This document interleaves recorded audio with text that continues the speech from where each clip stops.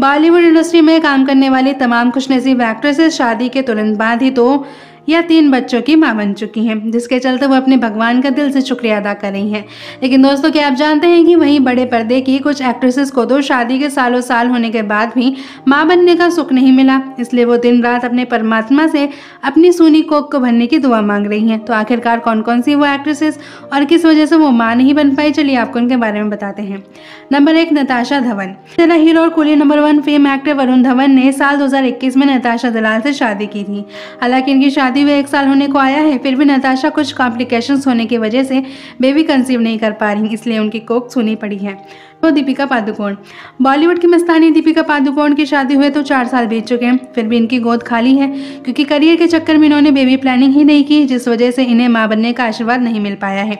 Number तीन, कटरीना कैफ। 9 दिसंबर साल 2021 में बॉलीवुड एक्टर विकी कौशल से शादी कर उनकी सुख दुख की साथी बनी Katrina Kaif.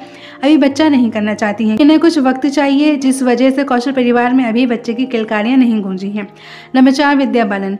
The dirty picture की बोर्ड एक्ट्रेस विद्या बालन तो अपने वेट की वजह से बेबी कंसीव करने में सक्षम नहीं हो पा रही।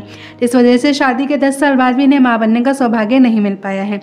नंबर पाँच आयशुल का। नब्बे के दशक की पॉपुलर एक्ट्रेस आयशा जुल्का शादीशुदा तो हैं, पर इनकी कोई संतान नहीं, क्योंकि प्रेगनेंसी के दौरान कई कॉम्प्लिकेशन होने की वजह से इनका बेबी नहीं हो पाया, जिसके चलते ये माँ बनने का आशीर्वाद नहीं पा सकी।